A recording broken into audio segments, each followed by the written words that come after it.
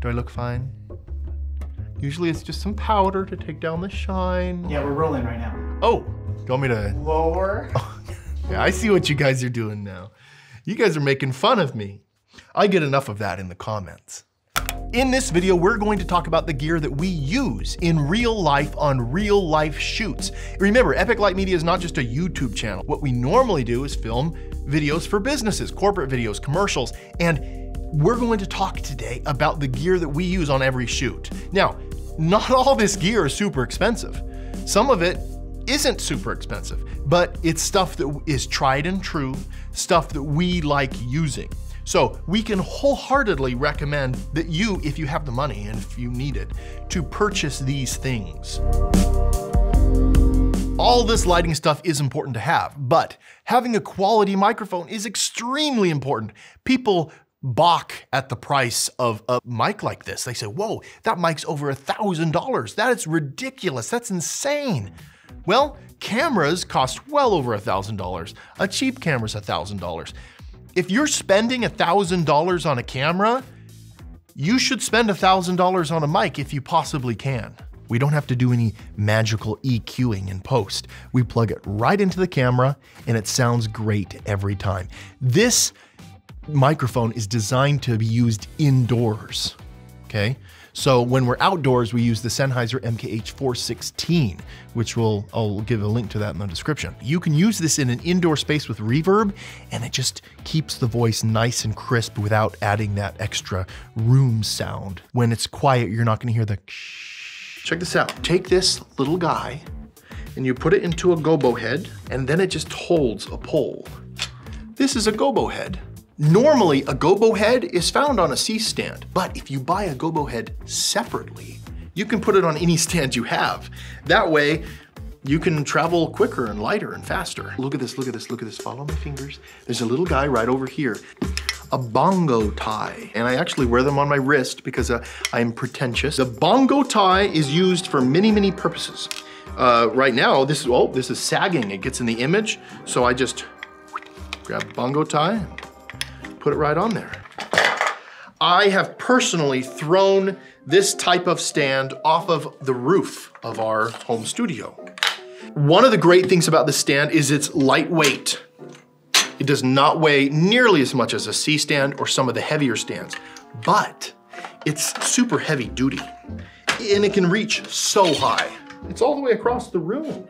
This design is the kind that works. The other stands that you could see online do not have these ridges and they suck. This is a simple five-in-one reflector, and right now I have the white side pointing towards my face. It is a bounce. This is the key light, it's bouncing off of this and filling in this side of my face. It can fold up like this, and then the other side is gold. Take off the outside of that, see it's on the floor now. Ta-da!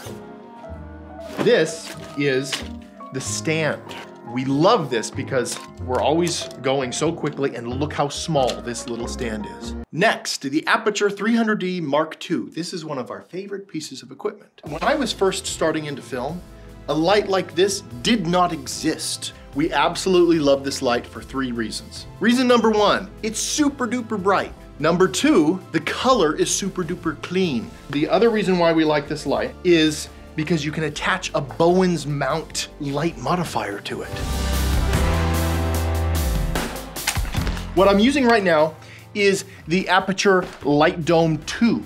And the Light Dome 2 is fantastic because you can set it up super duper fast. I'm going to tell you though what I hate about the Aputure Light Dome 2. This in the back. I know someone from Aputure is listening. You, you watch all of our videos, you're big fans. Listen to me this back part here, there isn't enough fabric. It takes me forever to Velcro this together. See this? Because you designed it with just enough fabric. And it takes forever to close this, if we can close it at all. So usually I just end up giving up. See that? It barely, it doesn't really close. I have a solution for this. Wanna hear it? Alex, do you wanna hear this? Yeah. All they have to do is give us a little extra fabric. We're not going to delve into too much detail about cameras, but I am going to talk about these two special cameras that I recommend to everybody. If you're serious about filmmaking and you have some money to spend, this is the camera we recommend. The Blackmagic Design Ursa Mini Pro 4.6K G2. This is one of the greatest cameras ever made for the price. We love this camera for three reasons. Number one, it has built-in ND filters, XLR inputs. This camera has XLR, I, I plugged the mic right into it, and V-mount battery plate on the back so I can put on my big batteries, my big boy batteries. I refer to myself as the big boy sometimes. Is that not good? Like, oh, the big boy's hungry. The big boy needs a nap. There is a secret to having a big boy camera like this. Do you wanna know what it is? Alex, do you wanna know what it is? Okay, hot boy. hot boy.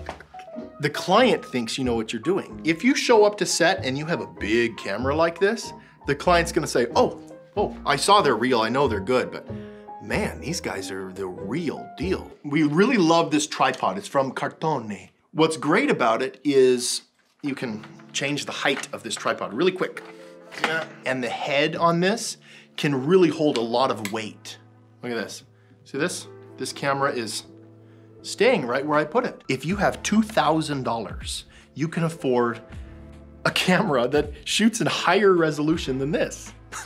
and that's the that's what's incredible about this. It is missing some features, which is why I don't use it as often, but I do love the image out of this camera. The image that you're getting off of this camera, in my opinion, is just as good or better than the more expensive G2. If you're throwing this thing on a gimbal, if you wanna run and gun, if you wanna look inconspicuous in a crowd, if you want a camera that you can just turn on and shoot, this thing is incredible. The Sigma 18 to 35 right here is your go-to lens. You buy this, you buy this camera and you're ready to go. This is one of the cheapest lenses you can buy. It's basically like a prime set in one lens because this is an f1.8 lens. It's an 18 to 35. It's a pretty good range. Okay, there's a few things that I need to talk to you about here. This is the Nanlite. It's relatively bright and we use it as a backlight, usually, because it's a soft, lightweight light source. It comes with this little plastic holder thing. People are always asking us about this. See this? This is one of my favorite pieces of equipment that we've discovered over the years. We bring this everywhere. We don't go to a shoot without this. In fact, we're always looking for this thing. We're like, oh shoot, we need that little thing that we love. This is the Nova from Aputure. It, it's super powerful.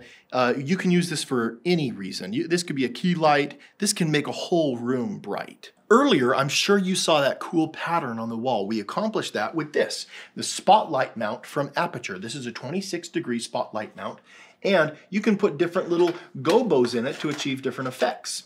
It looks kind of like a window. This is another secret. Right when you plug in the light, you know you have power because of this light. That's super helpful. Done.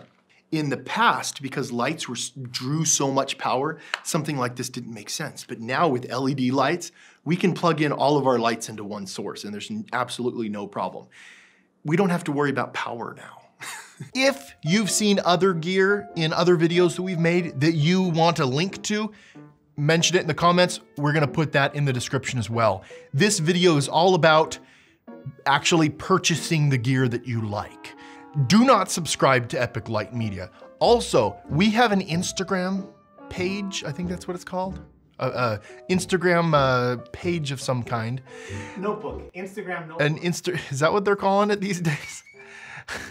I get so confused. Instagram, TikTok, uh, what are all the, Twitters, what are all these things? Okay, we have a social media thing. Alex is in charge of it, but we never post. Uh, well, we post sometimes. We're trying to post more often. So don't go there because it's like a, a black hole of despair.